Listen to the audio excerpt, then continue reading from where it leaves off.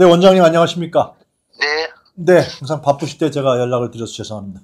아, 괜찮습니다. 그런데 워낙 중요한 사안이 지금 터져왔고요. 미국 대선 네. 얘기 좀 들어볼까 합니다. 많은 분들이 궁금해하시고 왜 이런 일이 벌어지고 있는가? 바이든은 어떻게 되는 거야? 야, 트럼프가 되는 거야? 그럼 한반도는 또 어떻게 바뀌는 거야? 이런 궁금한 게 많으실 거라고 생각이 되는데요. 일단 제가 잠깐 말씀드리면은 뭐 어, 일요일에 공개된 CBC 여론조사인가요? 어, 거의 바이든이 72%가 대선에 출마해서는 안 된다. 음. 이런 얘기들이 계속 나오는데 지금 상황은 좀 전반적으로 정리를 좀 해주시죠. 네. 어, 지난달 27일 날, 음. 어, 트럼프와 바이든 간의 대선 토론이 있었는데요. 네, 뭐, 보신 분들은 다 느끼셨겠지만, 네, 바이든 대통령이, 네. 어, 뭐, 예상보다 훨씬 더 저조하게 그 토론을 했고요. 네, 어, 문제는, 어, 문장을 다 완성하지 못할 정도로 문장, 문장 만드는데 애를 쓰고, 네. 어, 음, 그러니까 말 자체를 하는 것 자체가 어려워 보였고 음, 그리고 목이 쉬어가지고 어 듣기가 매우 거북한 그런 네. 상황이었어요. 음, 그래서 어 노령으로 인한 인지 능력에 과연 어 저 앞으로 4년이나 더 해야 되기 때문에 네, 그것이 대통령 수행이 가능하겠느냐? 음, 그러니까 옳고 그르고의 문제가 아니라 가능하냐 어허. 아니면은 어 능력이 없는 거 아니냐? 네, 능력이 안 되는 거 아니냐 그런 음. 문제가 발생해서 네,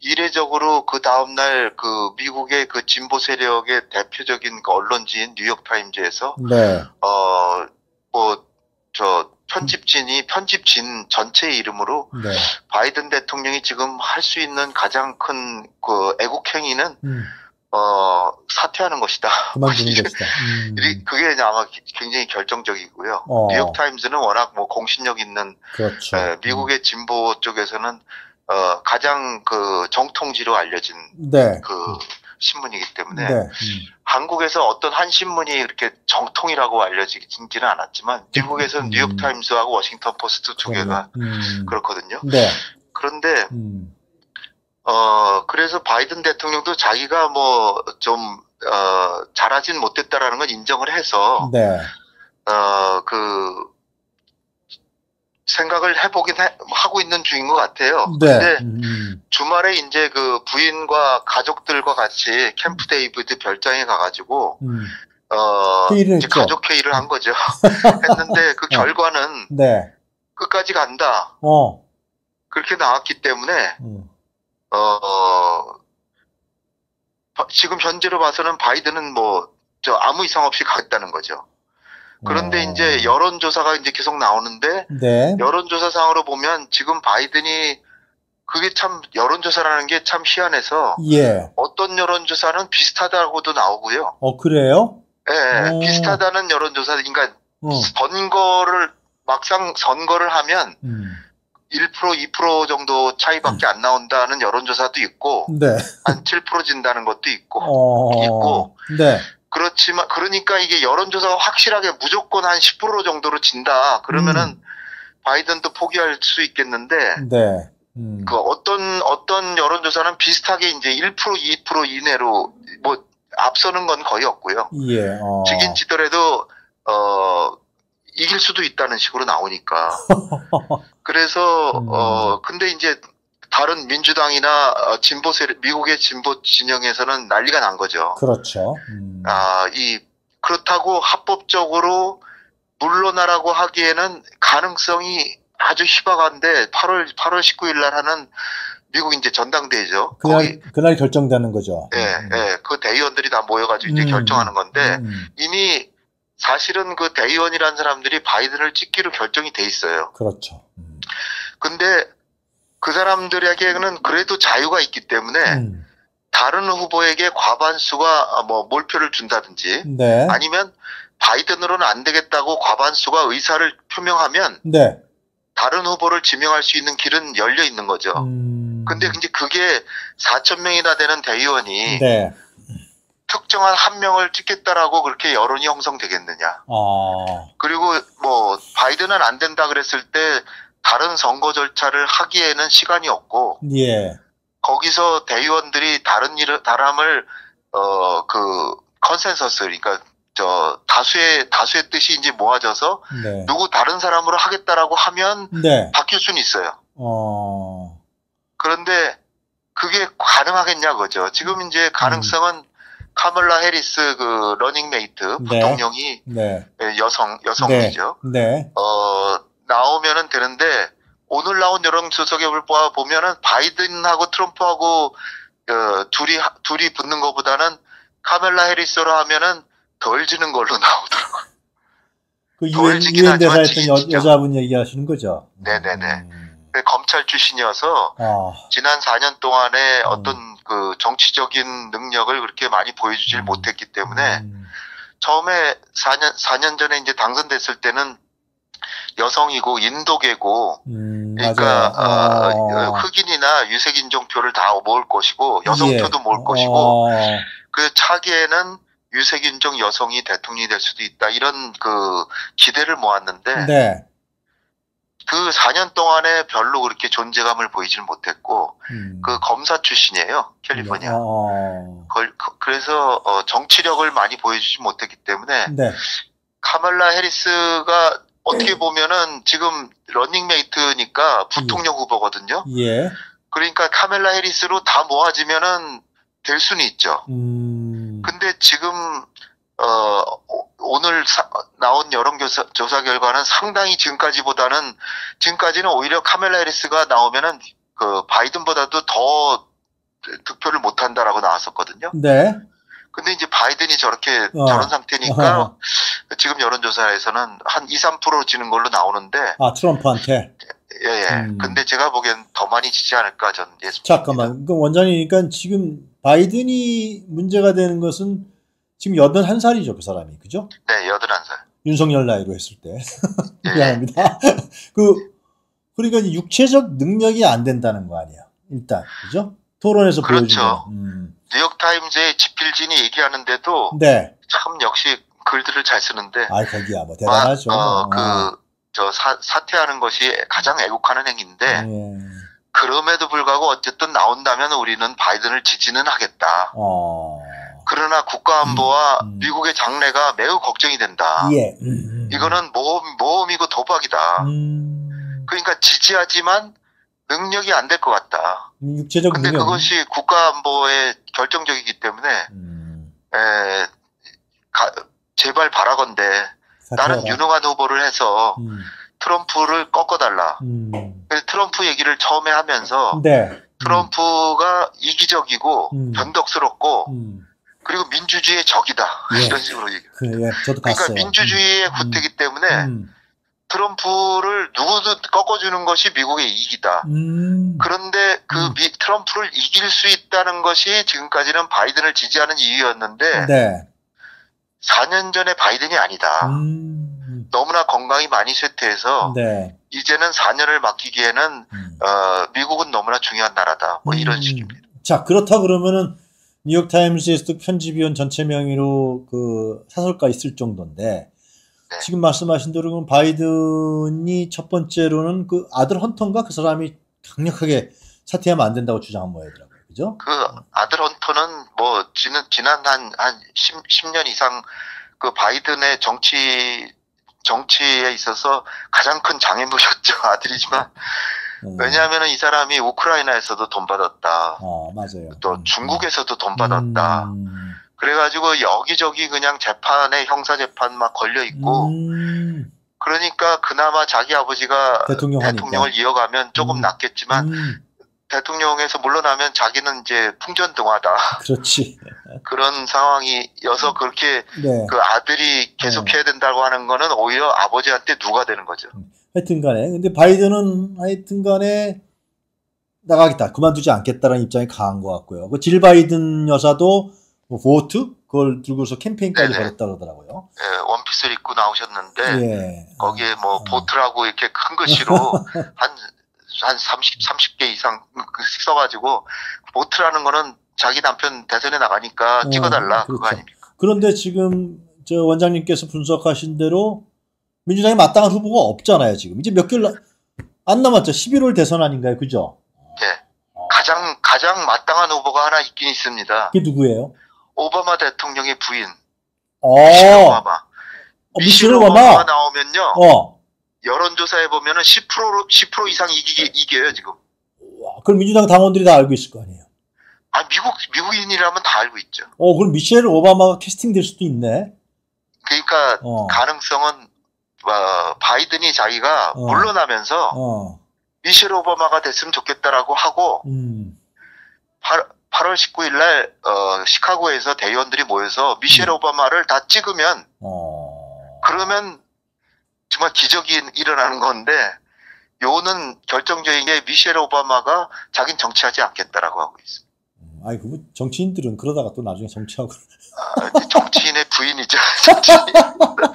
근데 하여튼 음. 미셸 오바마의 인기는 아, 그래요? 지난 어, 계속 어. 계속 돼 왔는데 음. 문제는 이제 본인이 안 하겠다라고. 뉴욕 타임스가 예를 들면 바이든 보고 사퇴하라고 스스로 그 얘기는 미셸 오바마까지도 염두에 둬서 예, 그 사람들이 얘기하지 않았겠어요? 그래서 기까지 드는데 미셸 오바마란 이름은 어디에도 나오지 나오진 않았지만 그 사람들이 이렇게 질르는 사람들이 아니잖아요. 우리나라 언론하고 다르잖아요. 음? 네.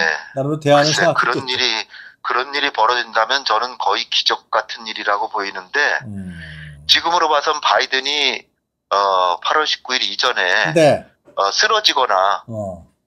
정말 어 진짜 심 마음을 바꿔서 네. 자긴 도저히 안 되겠다라고 해서 음. 물러나면서 음. 미셸 오바마를 지명하고 음. 근데 물러나기만 하면은 그 다음에는 민주당에서 걱정하는 게 대혼란이 벌어질까 걱정이에요.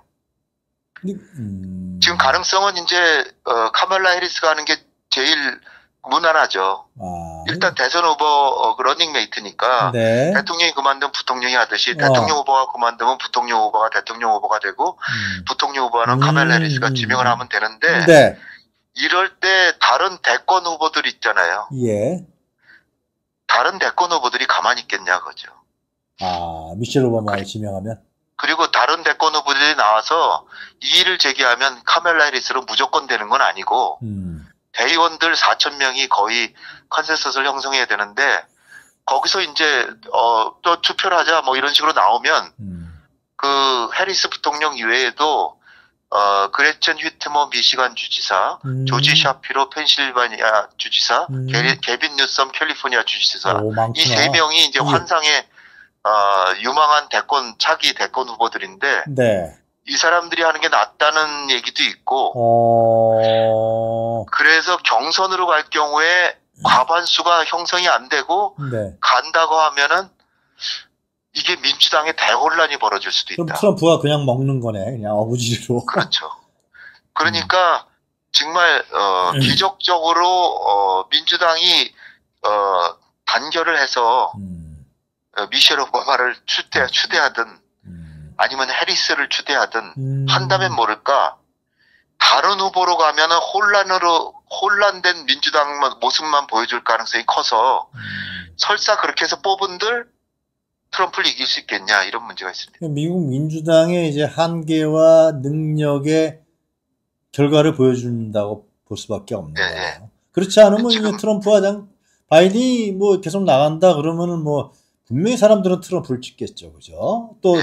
또 이제 제2차 디베이트 같은 거 벌어지면 더 그럴 테고 바이든이 네. 아, 트럼프가 공격 들어갈 테고 당신 물어볼 거 아니야 81살 고령인데 할 수 있겠어 막 물, 그렇게 물어보겠네 아예 어? 우리나라에서도 과거에 보셨지만은 예 대권 후보가 음. 그만두는 게 쉽지 않은 게 쉽지 않죠 주변에 너무 자기 많아 혼자 몸이 아니거든요. 맞아요 거기 가족은 단- 물론이고 음. 그저 지지자들 있잖아요. 지지자들. 아, 아니 10년 이상을 같이 정치적 동반자로 같이 했던 분들이 네 그 뭐 대선 후보 그만두면 그 사람들은 다 그냥 저 음, 그냥 땅만 하- 하늘만 쳐다보고 있어요. 음. 그러니까 그게 쉽지가 않, 않아 보입니다. 자, 이 이미 좀 결정은 안 됐습니다. 만 원장님 그냥 조심스럽게 우리 한국에 미치는 영향은 좀 간단하게 정리 좀 해주시죠. 그게 궁금한 사람들은. 음. 지금으로 봐서는 한그 트럼프가 될 가능성이 크다고 일단 그렇죠. 지금은 봐- 보여져요. 네, 그렇죠. 트럼프가 만약 되면 음. 바이든 바이든이 돼도 어, 한국의 민주당이나 진보적인 분들은 어 그 바이든이 한, 한반도 저 문제를 좀 적극적으로 잘 해결해 주리라고 기대를 하는데 네. 그것이 이제 대실망으로 다들 변했고, 맞아요. 음. 어, 오바마 대통령이 됐을 때 기대가 굉장히 컸었거든요. 오바마 근데, 대통령 8년을 했는데, 음, 8년 동안 육자회담 한 번도 못했습니다. 맞아요. 음. 근데 하려고 별 생각도 안 하고요. 음, 한반도 문제에 별 관심 없고, 한반도 문제를 잘 활용해서 음, 중국을 견제하는 게 오바마 8년이었고, 네.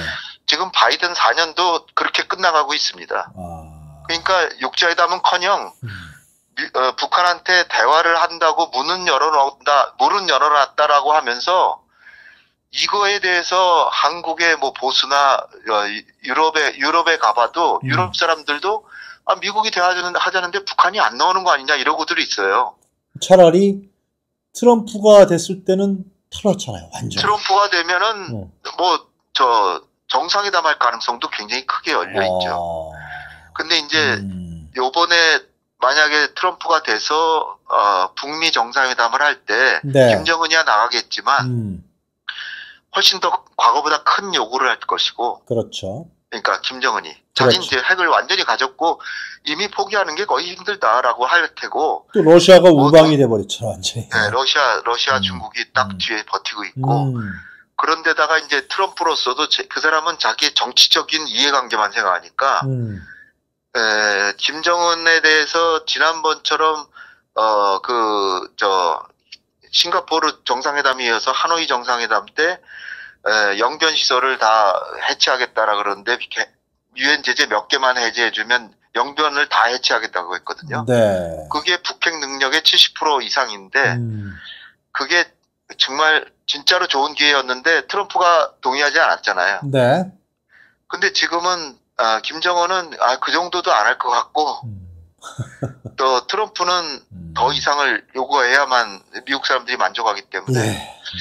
이게 정상회담을 해도 음. 한반도 문제가 해결되기 쉽지 않고 음. 두 번째는 한미 동맹 자체가 엄청난 어, 소용돌이 속에 들어가지 않을까. 왜냐하면 어. 방위비 분담금을 아. 지금보다 몇 배 올려달라고 할 가능성은 거의 음, 확실해 보이고요. 음, 그렇 만약 한국이 응하지 않으면 근데 한국 여론이 갑자기 방위비 분담금을 한 서너 배 올려준다라는 걸 받아들일 수가 있겠습니까? 예. 음, 음. 지금도 많아 보이는데요. 음. 1조 원인데 네. 근데 그 서너 배를 올려주지 않으면 주한미군 철수한다든지 한미동맹 파기한다 이렇게 나올 가능성이 크거든요. 음, 반대편으로 보면은 그 주한미군을 철수한다고 하면서 그러면은 우리 핵 개발하겠다 그럴 때 뭐 해도 그만이다 뭐 그럴 수도 있어요. 음. 아 그러니까 굉장히 널뛰기 하는 것처럼 네. 바이든 아 트럼프가 되면은 가능성이 외역도 많이 열려 있고 음. 한반 근데 부- 주- 하- 확실한 거는 한반도 정세가 굉장히 불안해질 가능성은 크죠. 결국 대한민국의 대통령이 누가 되느냐가 중요하겠죠. 그죠? 우리, 우리 주권자가 그렇죠. 누구냐, 어떻게 행동하느냐. 네네. 그 당시에 문재인 대통령이 남북 교류와 이 협력, 화해 정책을 폈으니까 트럼프가 결합이 됐던 거죠. 그죠? 예. 근데 지금 음. 윤석열 대통령이 지금 계속 한다는 가정하에서 보면 네. 윤석열 대통령은 결국은 미국한테 너무 자- 너무 잘하는 네. 그 너무 잘하는 대통령 아닙니까? 예. 잘하는 정도가 아니라 너무 잘하는데 그래서 미국이 하지 말라니까 핵 개발도 이제 포기하고 있는데 네. 속으로는 핵 개발 하고 싶은 생각이 있을 수 있다라고 저는 보거든요. 아, 보수 그래요? 대통령이니까. 음, 네. 음, 그러니까 트럼프하고 극적으로 음. 어, 핵 개발하는 거를 용인받아서 할 가능성도 없지는 않습니다. 윤석열 대통령이 계속 한다는 가정하에 그 말씀을 하셨어요. 예, 예. 아직도 한 2년 반, 3년 남았지 않습니까? 알겠습니다. 네. 알겠습니다. 아이고. 그, 이제 바쁘신 것 같아요. 그죠? 목소리도 많이 피곤하신 것 같고. 어제, 어제 학술대회가 있었던 모양이죠, 원장님? 네. 뭐, 아, 어, 우리 저 세종연구소가 지금 옮겨가지고, 아. 예, 이사, 이사하느냐고 바쁩니다. 아, 알겠습니다. 자, 오늘 피곤하신데, 바쁘신데 이렇게 어, 정확한 얘기를 해주셔서 대단히 감사합니다, 원장님. 네, 감사합니다. 네, 건- 원장님 고생하셨습니다. 고맙습니다. 감사합니다. 네네.